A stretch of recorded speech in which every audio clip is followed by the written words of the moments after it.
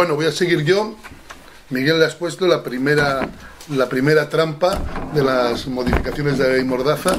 A mí me han parecido clarísimas, me han parecido que son modificaciones pues de maquillaje. Me parece que todas las ambigüedades que contiene la ley siguen siendo las mismas ambigüedades.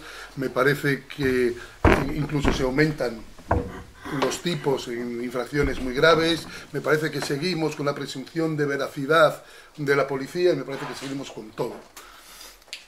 Pero vamos a, ir a pasar a la segunda. La segunda trampa es que, como hemos anunciado siempre y venimos diciendo machaconamente desde que hemos iniciado eh, todas las jornadas que, que hemos efectuado hasta ahora, es que no se trata de una ley mordaza. Es que se trata de un corpus legislativo de un montón de normas nuevas, de un montón de leyes modificadas.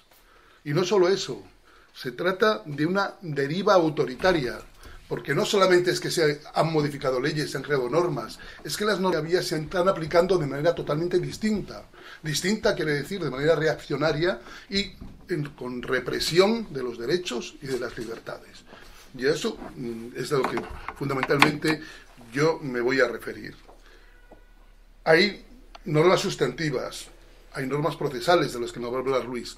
Yo me voy a centrar en una norma eh, sustantiva, en el Código Penal, que se le nombra en, la ley para decir que las... ¿Se acuerda para que decir que las circunstancias atenuantes serán de aplicación? A mí me parece que va a ser muy difícil eso, llevarlo a la práctica en técnica jurídica, pero no voy a meter.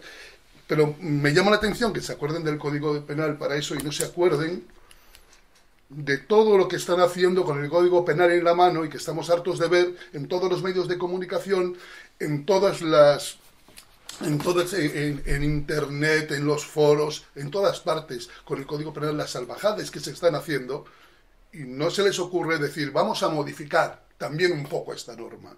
Porque esta norma, si nos fijamos, el 95%, y creo que me quedo corto, de las sanciones que estamos viendo en, pues eso, en los medios y en las redes sociales, no se está aplicando la ley Mordaza, se aplica el Código Penal. Son juicios criminales con sentencias del Código Penal, el que no se va a tocar. Un Código Penal que la mayoría de la doctrina le llama el Código Penal de la peligrosidad. El anterior se llamaba el Código Penal, la anterior reforma, de la democracia.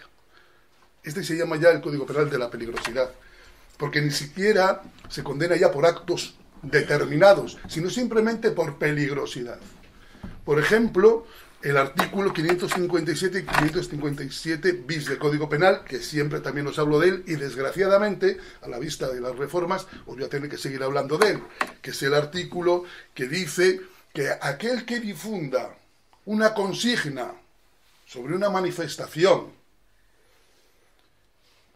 por cualquier medio, por el móvil, por, por Internet, el que difunda una consigna y en esa manifestación se produzcan daños a las personas o a los bienes, le condenan al que ha enviado la consigna con una pena de uno a seis años de prisión. De uno a seis años de prisión. Semejante barbaridad. El único requisito que ponen, también ya empezamos con las ambigüedades, es que esa consigna haya incitado a la persona a causar el daño a, los bienes o a las personas. O, que esto es mejor todavía, haya reforzado la decisión que esa persona ya tenía, la haya reforzado esa, esa decisión para causar el daño. A cualquiera que mande, se le puede caer el pelo de uno a seis años. Es curioso también que en el proyecto y anteproyecto de la Ley de Seguridad Ciudadana había un texto equivalente a este, análogo, que penaba a los difusores. Y no pasó el filtro del Consejo Fiscal y del Consejo del Poder Judicial. No lo pasó.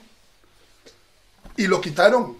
Cuando se aprobó la norma, para los difusores no, lo mantuvieron y lo siguen manteniendo y lo sigue manteniendo para los promotores de las, de las manifestaciones. Para eso lo siguen manteniendo. Pero ese por lo menos le quitaron. Pero le dejaron en el Código Penal. Que lo dejaron con una pena de unos seis años. Y me parece que si vamos a entrar a hacer una modificación de la ley Mordaza o de las leyes Mordaza, vamos a empezar por aquí. Vamos a empezar por aquí. Mucha gente dice, tranquilo, que es que mira, es una barbaridad. De unos seis años, ¿quién va a poner eso? ¿Quién va a aplicar eso? ¿Cuántas veces desde que se ha aprobado esta norma es del, de la ley 1 y 2 barra 2015? ¿Cuándo se ha aplicado esto? Pues no se ha aplicado nunca. Podemos estar tranquilos, que esto no se ha aplicado nunca. Como el artículo 315, que tampoco se aplicaba nunca. Aquí esto no se ha aplicado porque cuando se hizo esta norma se preveía que iba a haber una tremenda movilización social y que iba a haber una tremenda protesta social, que no la ha habido todavía. Pero como esa protesta social surja, este artículo se va a aplicar y con toda rigurosidad. Y he dicho como el artículo 315 del Código Penal, otro que tampoco se toca, ¿no? Porque el artículo 315 es el famoso este que está penalizando a los sindicalistas cuando hacen un piquete informativo, con penas, ahora actualmente y después de la reforma que hizo el ministro catalán, que la redujo, de un año y nueve meses hasta tres años de, cárcel. Esta es una norma, que hemos dicho también bastantes veces, de 1976, que no se aplicaba nunca, o en casos excepcionales y gravísimos. Nunca se aplicó. Y ahí estaba tranquilo como letra muerta, y se cambió el código, se cambió otra vez, hizo el código de Belloc, y ahí dejaban la norma, le cambiaban, de, pero ahí la dejaban, pero si no se aplicaba, hasta que hubo las huelgas generales del, del año 2012.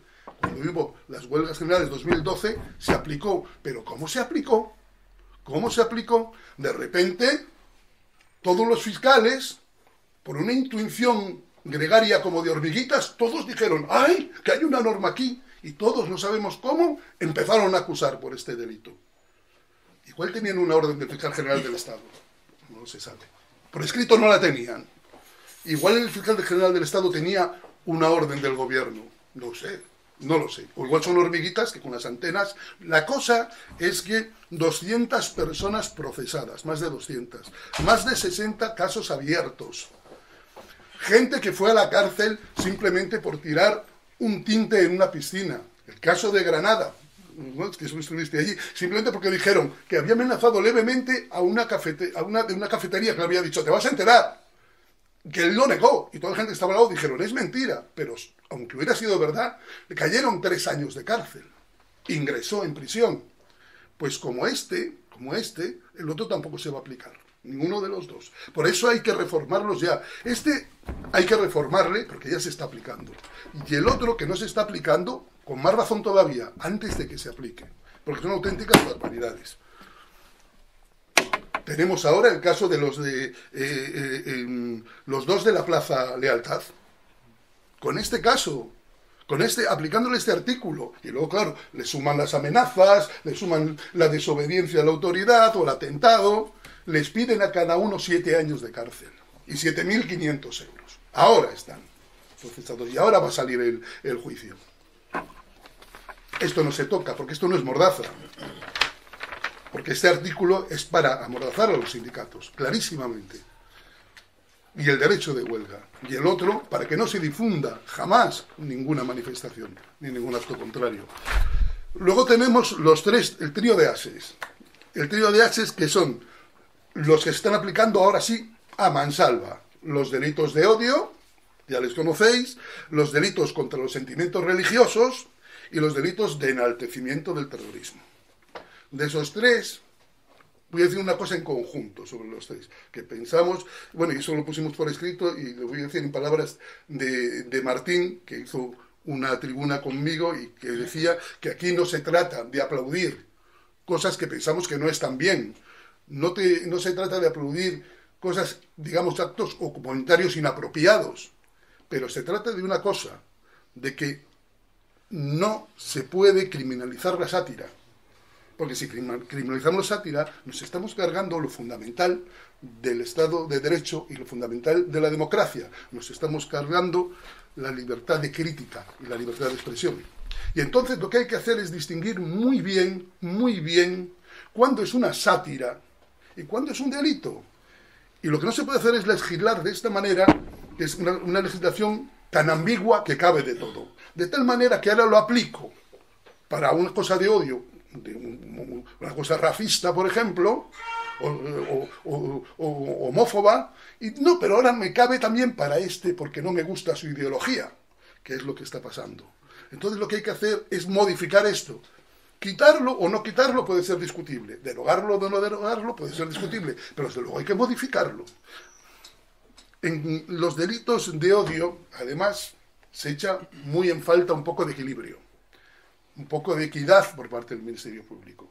Porque claro, el Ministerio Público, lo que estamos viendo que es que cuando comentarios salen en la red o en foros sociales de una determinada ideología, inmediatamente tenemos ya el procedimiento en las televisiones, todo. Pero luego hay comentarios que son del signo totalmente contrario, ideológicamente hablando, auténticas barbaridades, y el Ministerio Fiscal ni está ni se le espera. Ni está ni se le espera. Tenemos el caso, por ejemplo, de Pilar Manjón, que se le han dicho, sabéis que ha sido la, anterior presidenta de la asociación 11M. Auténticas barbaridades a una víctima del terrorismo. No ha pasado nada. No ha pasado nada. ¿Mm? Entonces, la verdad es que en casos como ese se echa de menos la intervención del Ministerio Fiscal. Bueno, no sé si se echa de menos la intervención del Ministerio Fiscal o se echa de más en los otros casos y no tenía que intervenir nunca. Yo me apunto a esto segundo. En los delitos contra, eh, eh, contra los sentimientos religiosos. En los delitos contra los sentimientos religiosos, pues, primero, esto es un Estado laico, ya podríamos hablar de esto de tipificar los, los sentimientos religiosos, ¿vale? Pero desde luego debe perseguirse como está legislado y debe tipificarse de una manera clara. Y por eso hay que hacer una reforma. ¿Cuál es el bien jurídico protegido? ¿Mm? O mejor dicho, no el bien jurídico protegido. ¿Cuál es la intención que debe penalizarse? Pues, se decía la exposición de motivos de la ley, era hacer escarnio de los sentimientos religiosos. Hacer escarnio de los sentimientos religiosos. Fuera de que fuera discutible o no, luego eso lo aplican en un tipo que cabe de todo. Cabe tanto de todo como que a Rita Maestre la procesan ¿Por qué? ¿Cuál era su intención? ¿Era hacer escarnio de algo? Era que en una universidad, que es un sitio público de y laico, no hubiese una, un templo religioso, porque sobraba. Es una cuestión ideológica, es una cuestión política, y no se quiere hacer escarnio absolutamente de nada. Pero cabe como está legislado, cabe. Y en primera instancia fue condenada si cabe, porque es que además depende con quién les... Tiene que ser una modificación muy estricta, porque si no, cualquier fiscal o cualquier juez, que igual hombre es numerario del opus, el hombre, y esto le afecta mucho, pues te sanciona directamente. Entonces tiene que estar muy bien legislado y hay que hacer un cambio de legislación para que no nos encontremos con casos tan ridículos como el del intermedio, que por decir que, que o meterse con la cruz del, del, del, Valle de los Caídos, que es un delito contra los sentimientos religiosos. Será un delito contra los sentimientos franquistas, pero no religiosos. Ese es el problema de no tener delimitado el, concepto como tiene que ser. Aposta, adrede, porque conviene que no estén delimitados los conceptos, porque así yo puedo meter donde quiera. El, el, el crecimiento del terrorismo, más claro que este, porque este terror, el terrorismo sí que lo teníamos claro lo que era. Y ya no lo tenemos claro lo que es. Es que terrorismo ahora es todo. Y esto está hecho adrede. Esto es una de las normas que decía yo antes. oye, mira, que no la cambio, pero la interpreto de otra manera. Antes sabíamos muy bien, cuando era la apología del terrorismo, la apología del terrorismo era, oye, mira, unos cuando salen los etarras de la cárcel o entran, oye, no le hagáis homenaje. Y se dice, es el nacimiento del terrorismo. Pero es que ahora no es así. Es que ahora, por ejemplo, caso de los titiriteros, enaltecimiento del terrorismo, caso de Cassandra, que hacía unos chistes de Carrero Blanco, condenada por enaltecimiento del terrorismo. ¿Pero qué terrorismo? Y también, en primera instancia, eh, César Strawberry, condenado por... Pero que son terroristas esta gente, enaltecen del terrorismo. No se lo creen ni ellos. No se lo creen ni ellos. Entonces hay que también volver a concretar el término terrorismo. Es muy importante hacer una modificación y pedir una modificación legislativa para que el concepto terrorismo pueda ser claro y no sea un cajón desastre en que a voluntad del que manda nos metan a los que quieran. Esto es tan importante que se deriva, por ejemplo, hay otro concepto derivado del terrorismo que son las organizaciones criminales. Son organizaciones o grupos criminales y organizaciones y grupos criminales con fines terroristas. Aquí también aprovechan que el término está totalmente difuso y meten a cualquiera. El caso de Nahuel. En el caso de Nahuel, cogieron a unos chavales anarquistas, terribles anarquistas, que tenían unos botellines en casa, unos petardos y además tenían un caldo de lombarda que decía la policía que eso debía ser el elemento para hacerlo estallar. Lo hacía la madre de uno de ellos. A ella no, la, no, no, se metieron con ella, la dejaron libre, pero a Noel le metieron durante meses, no, perdón, dos años, iban por ahí atrás, dos años en régimen FIES. El régimen FIES es un régimen de aislamiento total, en que no ves a nadie, estás solo en una celda y bajas a un patio individual como mucho una hora al día. Tuvo dos años por esto este hombre, por terrorista, porque como es difuso, cojo yo a todos los anarquistas que me caen muy mal y les aplico lo que en tiempos llamábamos la ley antiterrorista. Entonces hay que reformar la ley para concretar los términos.